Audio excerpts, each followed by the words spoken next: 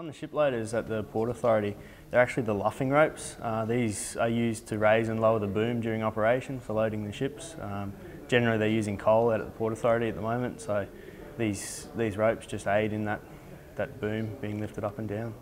The ropes actually pass through um, sheaves and when, when these ropes pass through the sheaves they're actually creating wear and also there's an element of corrosion being in a salt, salt climate above the water so um, lubricating actually extends the life of the rope as well. An initial uh, scope requirement was a fully automated system however we realised that it is impractical to create a fully automated system as there will be uh, some, some element of manual lubrication required. Um, the system we recommended was a semi-automated system. Um, it just requires a person to remove and apply the, the applicator to the rope and then a pump is set up to pump the lubricant onto the rope. So that's, that's our design.